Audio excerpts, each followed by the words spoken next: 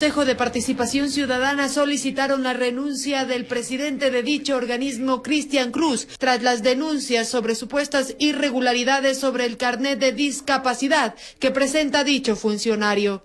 Y el día de ayer se aprobó la renuncia, se resolvió solicitarle la renuncia al presidente Cristian Cruz a este cargo. Según las consejeras, la moción tuvo cinco votos a favor. Siempre la verdad prevalecerá, con fe, con transparencia y nadie sobre la ley.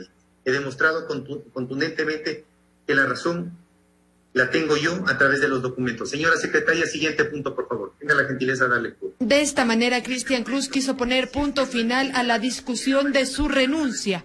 Minutos después, el Pleno fue suspendido abruptamente. Quienes votaron a favor consideran que el presidente de dicho organismo no puede ser juez y parte. El Consejo de Participación Ciudadana y Control Social está realizando una investigación al respecto de la emisión de estos carnets.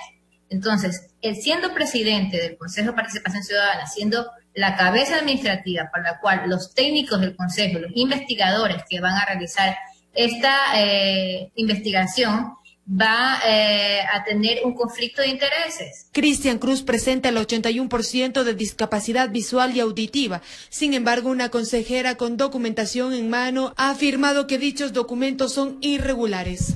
Cristian Cruz obtuvo el carnet adulterando documentos, tal y como reposa en la documentación de la Fundación Vista para Todos. Tres consejeras han pedido a las autoridades que se investigue el caso y que la situación pase a análisis de la Asamblea Nacional y la Fiscalía, informó Valeria.